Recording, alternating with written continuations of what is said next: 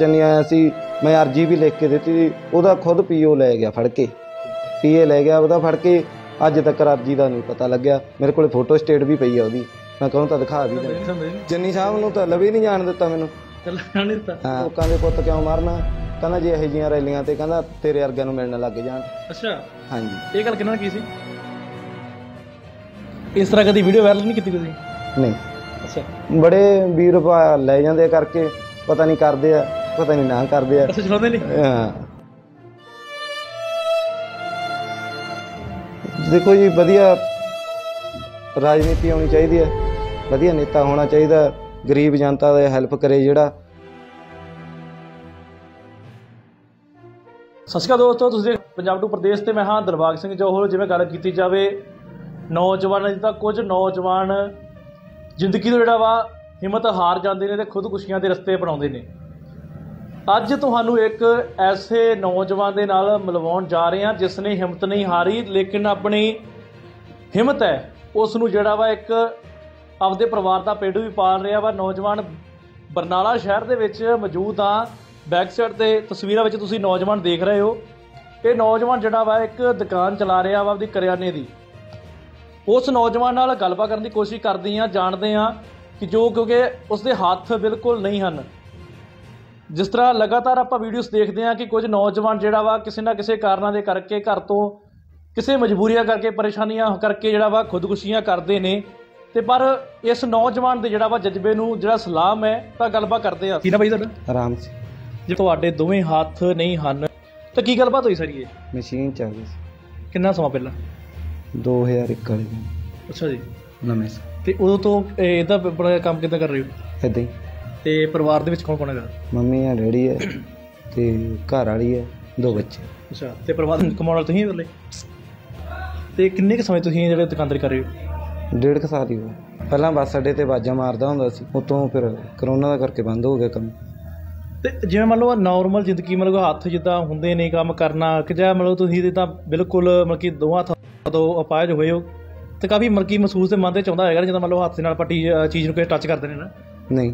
ਅੱਛਾ। ਉਹਦੀ ਆਦਤ ਤੋਂ ਪੜ ਗਈ ਹੱਥ ਲੱਗੀ ਬਾਕੀ ਮੈਨੂੰ ਸਿਖਾਤਾ ਸੀ ਚੰਡੀਗੜ੍ਹ ਕੋਰਸ ਕਰਾਤਾ ਸੀ ਤਿੰਨ ਮਹੀਨੇ। ਅੱਛਾ ਕਿੰਨਾ ਸਿਆ ਸੀ? ਉਹ ਤੇ ਡੁਪਲੀਕੇਟ ਹੱਥ ਲਾਉਂਦੇ ਆ ਕੋਈ ਫੌਜੀ ਦਾ ਹਸਪੀਟਲ ਜੇਪੀ ਹਸਪੀਟਲ ਕੋਲੇ ਆ ਉਹਦੇ ਕੋਲੇ ਜੀਰਕਪੁਰ। ਜੀਰਕਪੁਰ। ਹਾਂਜੀ। ਉਹਨਾਂ ਨੇ ਸਿਖਾਤਾ ਸੀ ਸਾਰਾ ਕੁਝ ਕਰਨਾ ਵੀ ਨਹਾਉਣਾ ਕੱਪੜੇ ਪਾਉਣੇ ਬੁਰਸ਼ ਕਰਨਾ ਸਾਈਕਲ ਚਲਾਉਣਾ ਤੇ ਲਿਖਣਾ। ਸਾਰਾ ਮੋਬਾਈਲ ਚਲਾਉਣਾ ਉਹਨਾਂ ਨੇ ਕੋਰਸ ਕਰਾਤਾ ਸੀ ਤੇ ਮੋਬਾਈਲ ਚਲਾਉਣੇ ਸੀ ਹਾਂਜੀ। ਤੇ ਪਰੇਸ਼ਾਨੀਆਂ ਕਾਫੀ ਆਉਂਦੀਆਂ ਜਦੋਂ ਮੰਨ ਲਓ ਆਪਾਂ ਕੰਮ ਕਰਦੇ ਹਾਂ ਇੱਕ ਰੁਟੀਨ ਬਣੀ ਤੁਸੀਂ ਕਹਿ ਰਹੇ ਹੋ ਰੁਟੀਨ ਬਣ ਚੁੱਕੀ ਹੈ ਪਰ ਜਿਸ ਤਰ੍ਹਾਂ ਅਸੀਂ ਹੁਣ ਹੱਥ ਦੇ ਨਾਲ ਆਪਣਾ ਮਾਈਕ ਫੜਿਆ ਹੋਇਆ ਵਾ ਇਸ ਤਰ੍ਹਾਂ ਤੁਹਾਨੂੰ ਲੱਗਦਾ ਨਹੀਂ ਕਿ ਮਹਿਸੂਸੀ ਮੇਰੇ ਹੱਥ ਹੋਣ ਜਾਂ ਉਸ ਤਰੀਕੇ ਨਾਲ ਮੰਨ ਲਓ ਆਪਾਂ ਹਾਂਜੀ ਇਦਾਂ ਦਾ ਲੱਗਦਾ ਵੀ ਜਿੱਥੇ ਤਾਂ ਇੱਕ ਹੱਥ ਨਾਲ ਫੜਨਾ ਕਿੱਥੇ ਦੋਨਾਂ ਨਾਲ ਫੜਨਾ। ਬੜਾ ਮੁਸ਼ਕਲ ਹੁੰਦਾ ਨਾ ਹਾਂ। ਜਦੋਂ ਕਦੇ ਆਵਾਜਾਈ ਕਰਨੀ ਹੁੰਦੀ ਤੁਸੀਂ ਕਦੇ ਜਾਣਾ ਹੁੰਦਾ ਤਾਂ ਕਿਵੇਂ ਜਾਂਦੇ ਹੋ? ਕੋਈ ਆਪਣਾ ਬਾਈਕ ਚਲਾ ਲੈਂਦੇ ਹੋ ਜਾਂ ਕੋਈ ਕਿਸ ਸੰਦ ਦੇ ਉੱਪਰ ਜਾਂ ਡਰਾਈਵ ਕਰਦੇ ਹੋ? ਸਾਈਕਲ ਉੱਪਰ। ਮੈਂ ਤਾਂ ਸਿੰਗਲ ਤੋਂ ਸਾਈਕਲ ਤੇ ਹੀ ਜਾਣਾ ਨਹੀਂ ਬਜਰ ਬੇਟੇ ਨੂੰ ਲੈ ਕੇ ਜਾਣਾ ਨਾਲ। ਸਾਈਕਲ ਮੈਂ ਕਿੱਦਾਂ ਚਲਾ ਲੈਂਦੇ ਪੂਰਾ? ਹਾਂਜੀ। ਉਹ ਸਾਹਮਣੇ ਖੜਾ ਜੀ। ਡੇਲੀ ਚਲਾਉਂਦੇ ਹੋ? ਹਾਂਜੀ। ਹਰ ਸਾਲ ਨੈਣਾ ਦੇਵੀ ਚਿੰਤਪੁਰਨੀ ਤੱਕ ਯਾਤਰਾ ਕਰਦਾ ਮੈਂ। ਨੈਣਾ ਸਾਵਣ ਦੇ ਮਹੀਨੇ ਸੌਣ ਦੇ ਮਹੀਨੇ ਹਰ ਸਾਲ? ਹਰ ਸਾਲ। 14 ਯਾਤਰਾ ਹੋ ਗਈ। ਮੰਨਤ ਪੂਰੀ ਹੋ ਗਈ। ਕਿਹੜੀ ਮਿਹਨਤ ਹੋ ਗਈ? ਬਸ ਮੈਨੂੰ ਮੰਨਤ ਇਹ ਸੀ ਵੀ ਮੇਰਾ ਵਧੀਆ ਘਰ-ਬਾਰ ਬਣ ਜੇ। ਆਪਾਂ ਆਪਦੀ ਮਿਹਨਤ ਨਾਲ ਬਣਾਇਆ ਸਾਰਾ ਕੁਝ ਮਿਹਨਤ ਕਰਕੇ ਬਣਾਇਆ। ਬੱਸ ਸਟੈਂਡ ਤੇ ਆਵਾਜ਼ਾਂ ਮਾਰਦਾ ਹੁੰਦਾ ਸੀ ਉੱਥੋਂ ਇਕੱਠੇ ਕਰੇ ਪੈਸੇ। ਫਿਰ ਮੈਂ ਘਰ ਘਰ ਬਣਾ ਲਿਆ ਚੰਗਾ। ਵਧੀਆ ਹੁਣ ਆਪਦਾ ਸੈੱਟ ਆ ਇੱਥੇ ਦੁਕਾਨ ਕਰ ਲਈ। ਡੇਢ ਸਾਲ ਹੋ ਗਿਆ ਇੱਥੇ ਬੈਠੇ। ਇਹ ਮਤਲਬ ਕਿ ਤੁਹਾਨੂੰ ਜਿਹੜਾ ਜ਼ਿਲ੍ਹਾ ਬਰਨਾਲਾ ਤਾਂ ਪਿੰਡ ਕਿਹੜਾ ਤੁਹਾਡਾ ਪੈਂਦਾ ਹੈ? ਪਿੰਡ ਮਹਿਤਾ ਪੈਂਦਾ ਜੀ। ਅੱਛਾ ਪਿੰਡ ਮਹਿਤਾ। ਤੇ ਕਿੰਨੇ ਟਾਈਮ ਤੋਂ ਤੁਸੀਂ ਦੁਕਾਨਦਾਰੀ ਕਰ ਰਹੇ ਹੋ? ਡੇਢ ਕੁ ਸਾਲ ਹੀ ਹੋਇਆ 2 ਸਾਲ। ਅੱਛਾ। ਉਹ ਕਈ ਵਾਰ ਗੱਲ ਮੈਂ ਜਿਸ ਸਟਾਰਟਿੰਗ ਕੀਤੀ ਸੀ ਕਿ ਨੌਜਵਾਨ ਜਿਹੜੇ ਕਈ ਵਾਰ ਹਿੰਮਤ ਹਾਰ ਜਾਂਦੇ ਨੇ ਖੁਦਕੁਸ਼ੀਆਂ ਦੇ ਰਸਤੇ ਅਪਣਾਉਂਦੇ ਨੇ ਪਰ ਤੁਸੀਂ ਜਿਹੜਾ ਵਾ ਇੱਕ ਮਿਹਨਤ ਕਰ ਰਹੇ ਹੋ।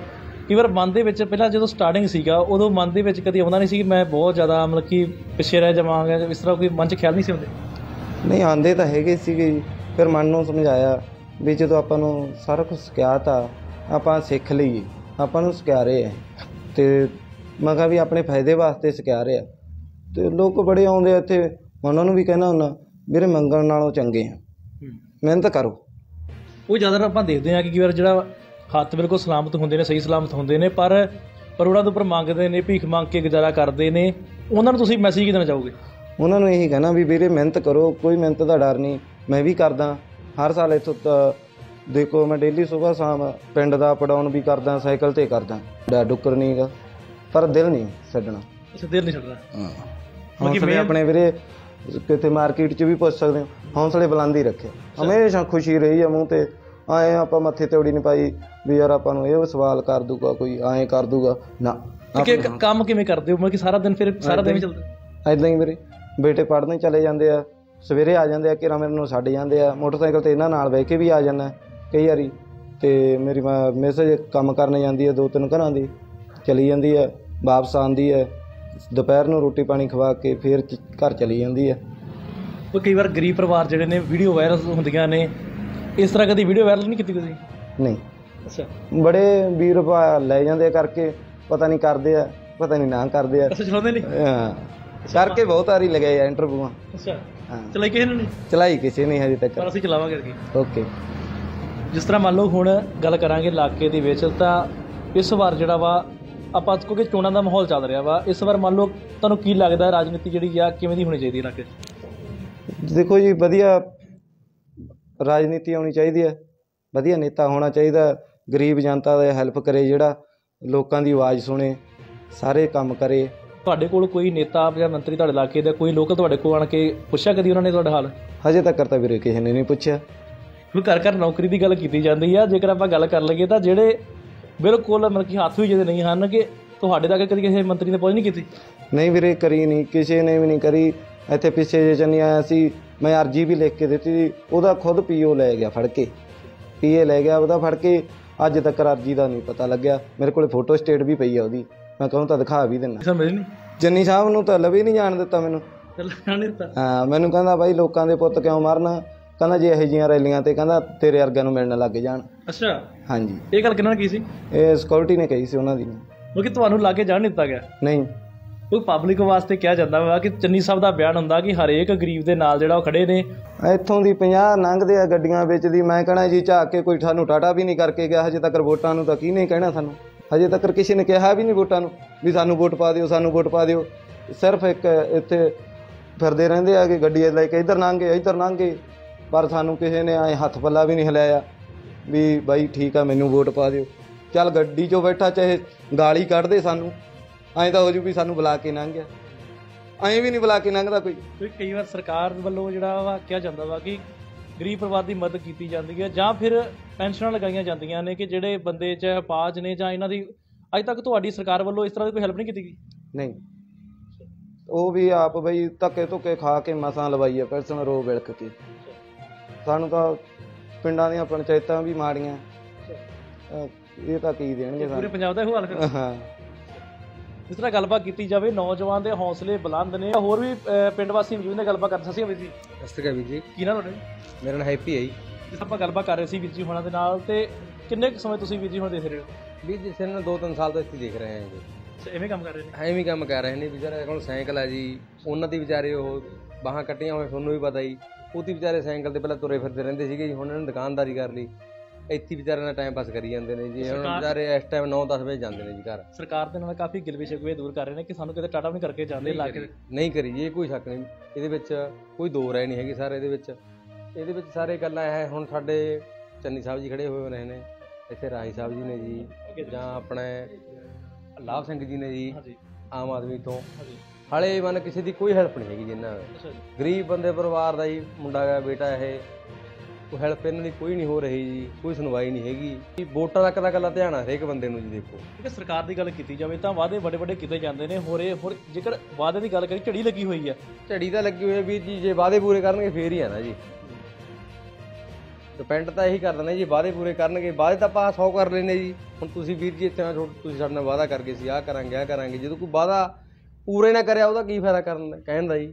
ਜੇਕਰ ਆਪਾਂ ਨੌਜਵਾਨਾਂ ਨੂੰ ਨੌਕਰੀ ਦੀ ਗੱਲ ਕਰ ਲਈਏ ਤਾਂ ਘਰ ਘਰ ਨੌਕਰੀ ਦਾ ਵਾਅਦਾ ਕੀਤਾ ਸੀ ਪਰ ਘਰ ਘਰ ਨੂੰ ਛੱਡ ਕੇ ਆਪਾਂ ਜੇਕਰ ਇਦਾਂ ਦੇ ਨੌਜਵਾਨਾਂ ਨੂੰ ਨੌਕਰੀ ਦਿੱਤੀ ਜਾਵੇ ਜਾਂ ਫਿਰ ਇਦਾਂ ਦੇ ਨੌਜਵਾਨਾਂ ਦੀ ਪੱਕੀਆਂ ਹੀ ਪੈਨਸ਼ਨ ਲਗਾਤੀਆਂ ਜਾਣ ਤਾਂ ਮੰਨ ਲਓ ਕਿ ਹੱਥ ਨਾ ਹੋਣ ਦੇ ਬਾਵਜੂਦ ਵੀ ਜਿਹੜਾ ਨੌਜਵਾਨ ਕੰਮ ਕਰ ਰਹੇ ਨੇ ਫਿਰ ਇਹਨਾਂ ਵਾਸਤੇ ਕੋਈ ਵੱਖਰੀ ਸਹੂਲਤ ਨੂੰ ਲੱਗਦਾ ਨਹੀਂ ਚਾਹੀਦੀ? ਚਾਹੀਦੇ ਬਿਲਕੁਲ ਚਾਹੀਦੇ ਸਰ। ਕਿਉਂਕਿ ਇਹ ਹੁਣ ਵਿਚਾਰੇ ਦੋ ਬਾਹਾਂ ਤੋਂ ਕੱਟਿਆ ਹੋਇਆ ਜੇ ਇੰਨਾ ਪਰਿਵਾਰ ਪਾਲਦਾ ਤੁਹਾਨੂੰ ਦੱਸ ਕੇ ਕਿੰਨੇ ਜੀ ਨੇ ਮੇਰੇ। ਇਹ ਪਾਲ ਰਿਹਾ ਜੀ ਢਿੱਡ ਪੇਟ ਆ ਇੱਥੋਂ ਜਦ ਵਿਚਾਰਾ 10 ਵਜੇ ਜਾਂਦਾ ਜੀ ਬਾਈ ਚਾਂਸ ਕੋਈ ਲੁੱਟ ਖੋਹ ਕਰ ਲਵੇ ਇਹ ਕੀ ਕਰ ਲੂਗਾ ਗਰੀਬ ਬੰਦਾ ਜੀ? ਤੇ ਘਰ ਕਾਫੀ ਦੂਰ ਹੈ ਕਾਫੀ ਇੱਥੋਂ 4 ਕਿਲੋਮੀਟਰ ਸਾਰੇ ਇੱਥੋਂ ਜੀ। ਅੱਛਾ ਡੇਲੀ ਸਾਈਕਲ ਚਲਾ ਕੇ ਜਾਂਦਾ ਹੈ? ਹਾਂ ਇੱਥੇ ਡੇਲੀ ਆਉਂਦਾ ਜੀ ਮਹਿਤੇ ਤੋਂ ਤਪਾ ਮੰਡੀ ਡੇਲੀ ਆਉਂਦਾ ਜੀ ਆਪਦੀ ਦੁਕਾਨ ਤੇ। ਅੱਛਾ। ਹਾਂਜੀ ਸਰ। ਤੇ ਨੌਜਵਾਨ ਜਿਹੜੇ ਤੁਹਾਨੂੰ ਦੇਖ ਰਹੇ ਨੇ ਕੀ ਮੈਸੇਜ ਦੇਣਾ ਚਾਹੋਗੇ? ਅਸੀਂ ਮੈਂ ਤਾਂ ਸਾਰੇ ਇਹੀ ਦੇਣਾ ਚਾਹੁੰਦਾ ਵੀ ਇਹ ਗਰੀਬ ਬੰਦੇ ਇੱਕ ਤਾਂ ਹੈਲਪ ਕਰੀ ਜਾਵੇ ਜੀ। ਦੇਖੋ ਗਰੀਬ ਬੰਦਾ ਹੈਗਾ ਹੈ ਆਪਦੇ ਬੱਚੇ ਪਾਲ ਰਿਹਾ ਹੈਗਾ। ਦੂਜੀ ਗੱਲ ਜੀ ਸਰਕਾਰਾਂ ਨੂੰ ਵੀ ਧਿਆਨ ਦੇਣਾ ਚਾਹੀਦਾ ਇਹੋ ਜਿਹੇ ਬੱਚੇ ਵੱਲ। ਬਹੁਤ ਧੰਨਵਾਦ ਜੀ, ਜਿਸ ਤਰ੍ਹਾਂ ਗੱਲਬਾਤ ਕੀਤੀ ਹੈ ਕਿ ਅੱਜ ਬਰਨਾਲੇ ਦੇ ਵਿੱਚ ਪਹੁੰਚੇ ਸਾਂ ਕਿ ਰਾਤ ਦਾ ਸਮਾਂ ਹੈ, ਤਾਂ ਸਾਡਾ ਮਕਸਦ ਸੀਗਾ ਇਸ ਵੀਡੀਓ ਦਾ ਕਿ ਜੇਕਰ ਨੌਜਵਾਨ ਦੀ ਗੱਲ ਕੀਤੀ ਜਾਵੇ ਕਿ ਕੁਝ ਨੌਜਵਾਨ ਜਿਹੜਾ ਖੁਦਕੁਸ਼ੀਆਂ ਦੇ ਰਸਤੇ ਅਪਣਾਉਂਦੇ ਨੇ, ਜ਼ਿਆਦਾਤਰ ਜਿਹੜਾ ਹਿੰਮਤ ਹਾਰ ਜਾਂਦੇ ਨੇ ਕਿ ਜਿਹੜਾ ਜ਼ਿੰਦਗੀ ਤੋਂ ਖੁਦਕੁਸ਼ੀਆਂ ਕਰ ਲੈਂਦੇ ਨੇ, ਪਰ ਇਸ ਨੌਜਵਾਨ ਨੇ ਜਿਹੜਾ ਮਿਸਾਲ ਪੈਦਾ ਕੀਤੀ ਹੈ, ਇਲਾਕੇ ਦੇ ਵਿੱਚ ਵੀ ਜਿਹੜਾ ਲੋਕ ਕਹਿ ਰਹੇ ਨੇ ਕਿ ਇਸ ਨੌਜਵਾਨ ਨੇ ਜਿਹੜਾ ਵਾ ਆਪਦੇ ਪਰਿਵਾਰ ਦਾ ਜਿਹੜਾ ਪੇਟ ਪਾਲ ਰਿਹਾ ਤੇ ਇਲਾਕੇ ਦੇ ਵਿੱਚ ਕਾਫੀ ਲੋਕ ਤਾਰੀਫ ਕਰ ਰਹੇ ਨੇ। ਤੇ ਸਰਕਾਰ ਦੇ ਉੱਪਰ ਵੀ ਸਵਾਲ ਚੁੱਕੇ ਜਾ ਰਹੇ ਨੇ। ਪਹਿਲਾਂ ਕੈਪਟਨ ਅਮਰਿੰਦਰ ਸਿੰਘ ਦੇ ਵੱਲੋਂ ਵੀ ਘਰ ਘਰ ਵਿੱਚ ਨੌਕਰੀ ਦੇਣ ਦੇ ਵਾਅਦੇ ਕੀਤੇ ਗਏ ਸਨ। ਕਿਤੇ ਨਾ ਇਸ ਤਰ੍ਹਾਂ ਦੇ ਲੋਕ ਜਦੋਂ ਦੇਖਦੇ ਆ ਤਾਂ ਲੱਗਦਾ ਹੈ ਕਿ ਉਹ ਵਾਅਦੇ ਕਿਤੇ ਨਾ ਕਿਤੇ ਗਰਾਊਂਡ ਲੈਵਲ ਤੇ ਖੋਖਲੇ ਹੀ ਸਾਬਤ ਹੋਏ ਨੇ। ਮੈਨੂੰ ਦਿਓ ਇਜਾਜ਼ਤ, ਕੈਮਰਾਮੈਨ ਮਿੱਤਰਪਾਲ ਦੇ ਨਾਲ ਦਰਬਾਗ ਸਿੰਘ, ਪੰਜਾਬ ਟੂ ਪ੍ਰਦੇਸ਼, ਬਰਨਾਲਾ।